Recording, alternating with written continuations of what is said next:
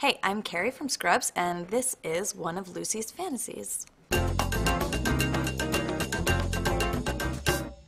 Lucy saves her um, her new friend, uh, this uh, alcoholic that she met in the hospital and really wanted to get behind, and she sends him to rehab. And she wasn't going to make a big deal about having, you know, really saved his life and made an impact on him. And then it goes into her fantasy where uh, it looks like a Lifetime movie. And uh, in her fantasy, uh, her drunk friend is played by Antonio Sabato Jr., underwear model extraordinaire. Lifetime presents Antonio Sabato Jr. as Alan the Drunk. A man this broken I'm just really broken. needs a woman this strong. You can do this, Alan!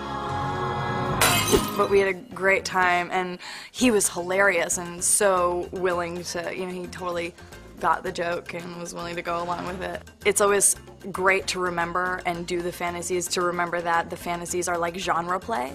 And that's precisely what that one was. It was being in a lifetime movie for one day at work, or, um, you know, we're gonna do roller disco tomorrow. So. With a mentor who cares so much. God, I care so much. Well, that's one of the things that's always been great about the show is no matter how weird your imagination is, and mine personally is pretty damn bizarre, and obviously the character of JD's is.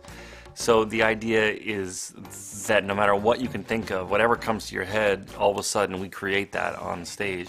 And that's always been one of the most fun things to do on Scrubs is these really wacky, bizarre fantasies. Remember, Alan, you can do it. Can't thank you enough.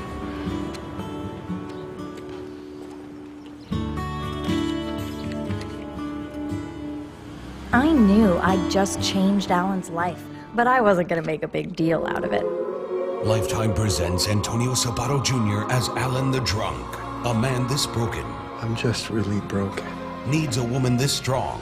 You can do this, Alan! With a mentor who cares so much. God, I care so much. I guess this is goodbye. No, we can't. I know you're a doctor. I'm a med student, damn it. Lucy. Shh.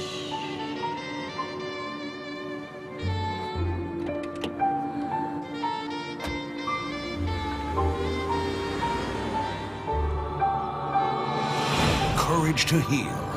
The Lucy Bennett story.